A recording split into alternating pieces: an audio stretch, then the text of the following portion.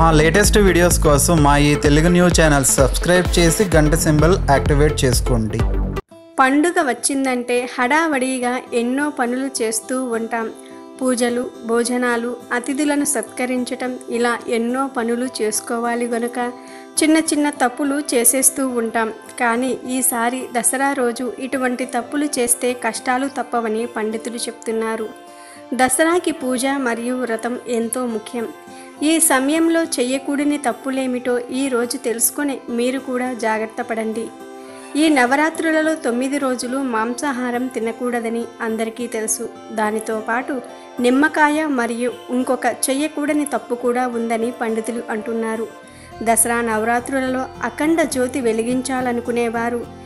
ఇంటిని ఖాళీగా వదిలి వెళ్ళకూడదు. ఇంట్లో ఎవరో ఒకరు ఉండాలి. ఈ చిన్న నియమాన్ని పాటించటం వలన ఆ తల్లి అనుగ్రహం తప్పక లభిస్తుంది. ఈ నవరాత్రులు పూర్తయ్యే వరకు వెల్లుల్లి మాంసాహారం ఉల్లి తీసుకోకూడదని అందరికీ తెలుసు. కానీ వాటితో పాటు నిమ్మకాయను కూడా తినకూడదని పండితులు అంటున్నారు. తినటమే కాదు అస్సలు నిమ్మకాయ వాసన కూడా చూడకూడదు. మరి మీరు కూడా ఈ రెండు జాగ్రత్తలను పాటించండి. అలాగే దసరా రోజున ఒక చిన్న పరిహారం పరిహారం చేసినట్లయితే అష్టైశ్వర్యాలు మీ సొంతం అవటం ఖాయమంటున్నారు పండితులు.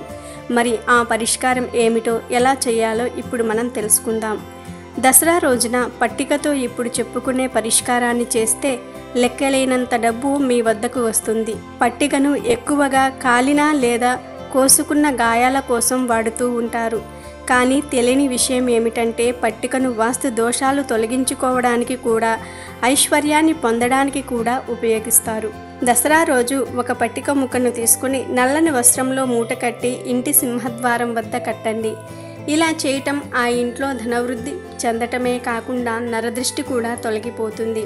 వ్యాపారంలో నష్టాలు వచ్చి అప్పులతో కూరుకుపోయిన వారు ఒక తమలపాకులో పట్టిక బెల్లం మరియు కుంకుమను పెట్టి చిన్న మూటలాగా కట్టి దగ్గరలో ఏమైనా రావి చెట్టు ఉంటే ఆ రావి చెట్టు దగ్గర గొయ్యి తీసి పాతయ్యండి ఇలా ఈ పరిష్కారాలను చేయటం ద్వారా మీకు ఉన్న ఆర్థిక సమస్యలు మరియు వ్యాపార సమస్యలు కూడా తొలగిపోతాయి. నిజానికి ఈ పరిష్కారాలను ఎప్పుడైనా చేయవచ్చు. కానీ దసరా రోజు చేయటం ద్వారా వంద రెట్ల మంచి ఫలితాలను పొందుతారు. మీ వ్యాపారంలో కూడా మంచి అభివృద్ధి లభిస్తుంది. మరి మీరు కూడా ఈ పరిష్కారాన్ని దసరా రోజు పాటించి మీ ఆర్థిక సమస్యలను తొలగించుకోండి. వీడియో నచ్చితే లైక్ చేయండి షేర్ చేయండి. బట్ సబ్స్క్రైబ్ చేసుకోవడం మర్చిపోవద్దు.